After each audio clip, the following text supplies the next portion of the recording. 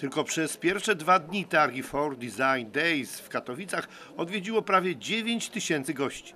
Dla wystawiających się nam 300 firm, producentów mebli wyposażenia wnętrz, byli to goście najważniejsi. Przede wszystkim architekci, projektanci, inwestorzy i deweloperzy.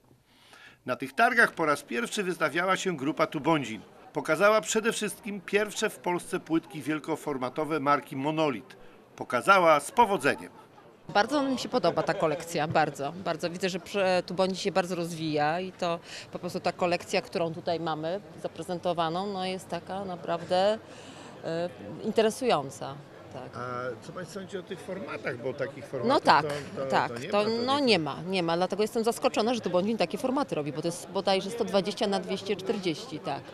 No, fajnie, bardzo mi się podoba. Postanowiliśmy więc y, zaprezentować nasz asortyment inwestycyjny. Tak? Pokazujemy zarówno płyty wielkoformatowe, e, które zadają się do wszelkich zastosowań wewnętrznych, zewnętrznych, e, jak i właśnie na wielkopowierzchniowe inwestycje. Prezentujemy również nowe rozwiązania mm, e, do montażu płyt na elewacjach, jak i nasz najnowszy asortyment y, serii Industrio, płyt barwionych w masie o bardzo wysokiej ścieralności, które mogą być stosowane w ciągach komunikacyjnych bardzo intensywnie uczęszczanych. Tak? Mamy również e, smaczek dla e, osób, które no, lubią nowe technologie, czyli możliwość zapoznania się z naszymi wnętrzami, z łazienkami wykończonymi w płytkach e, wirtualnej rzeczywistości. Na stoisku Tubondzina można było zobaczyć wymarzoną łazienkę wirtualnie, dzięki urządzeniu zwanemu fotoplastikonem dla architektów.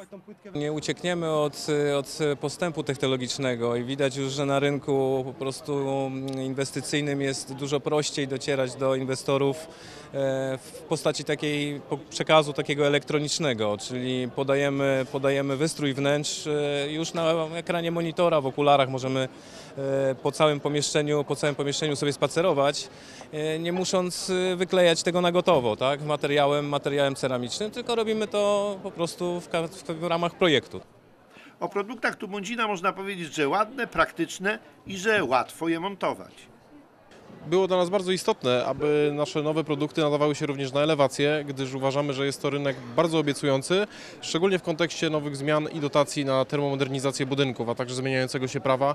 Poza tym gusta klientów sugerują, że będzie to jeden z bardziej popularnych kierunków stosowania gresu. To są nasze płytki gresowe Industrio, płytki Monolit. Generalnie wszystkie płytki do zastosowań zewnętrznych możemy stosować też na elewacje wentylowane czy klejone.